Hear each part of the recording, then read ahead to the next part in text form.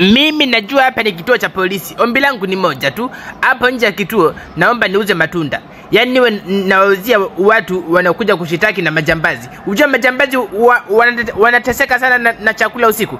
At least nikiwa nawauzia matunda hapo nje, watakuwa wanapita wa- wanaenda kuvamia wameshiba. Una matatizo ya akili? Hapa ni wapi?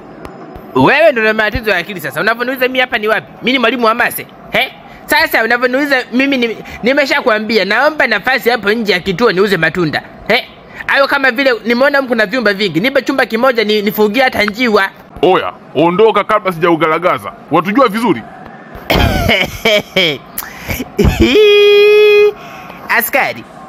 Yaani unataka hebu fanya unachokitaka. Sasa kwa taarifa yako na kupiga nafunga na kituo na meza funguo. A few moments later. Mme wangu umekuwaje? Mbona hauongei? Shemeji, kuna nini? Hapo shemeji, ungemuuliza mwenyewe. Tumekaa pale kijiweni, nikasemaje, hata kwanza kuvuta bangi, kavuta nusu, akaondoka, kaudi, ka, kafinyangwa, haongei, sijui kafanywaje, muulize mwenyewe. Najua mnaongea tu kama vile mmekatika vichwa, hamjui kichwani napitia nini. Yaani wezi wana roho jamani, polisi wanapiga vibaya. Yaani kwanza kanipiga sehemu najisikia mpaka miguu imeganda.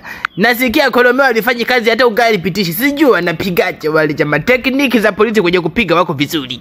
Tatizo we naye Yombo, umezidi. Unavutaje bangi, unaweka mchicha, ndio maana imekubangua kichwa. Alafu FCC polisi nichanganye. Mimi nishavuta bangi nikaweka paka alovela. Hii ya leo ni kali. Sijui imeenda wapi. Yaani imepanda mpaka ya mshipa ya akili.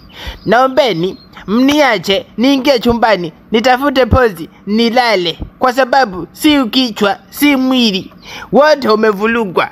Vipi, hautaki nyingine? Itiamini baba yako mdogo eti mke wangu mwambie onya uba atoke humu ndani eti ya, ya, ya, ya, yani nimenundishwa bado niongezee bangi nyingine na hizo ndevu zao kama vile upinde wa mvua. Naomba uniache. We naye kidogo. waulize wanafunzi kidogo yatungisha mimba. Niacheni nikalale